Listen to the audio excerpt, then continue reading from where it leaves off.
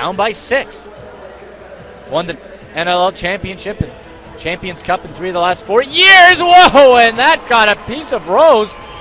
No real distraction in front of him. And Joel Walters gets Joe Rochester Walters- the second goal. Sorry, Walters had a breakout year in the summer with the U.S. at the World Championships, and in this case, he is just ripping one through a bit of a screen up high. You can see that Bradley Cree was out on him, and I think Walters went.